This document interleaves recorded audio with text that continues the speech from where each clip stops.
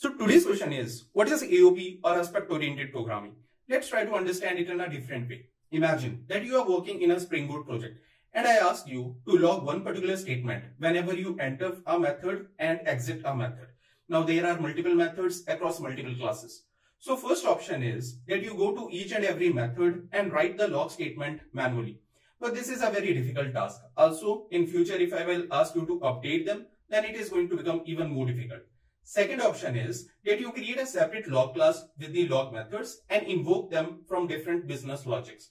But then also, you need to auto-wire one extra class in all other classes. Now, why not to declare this log class as the aspect class? Then you can invoke the log methods as per the point cut expressions without even auto-wiring the log class.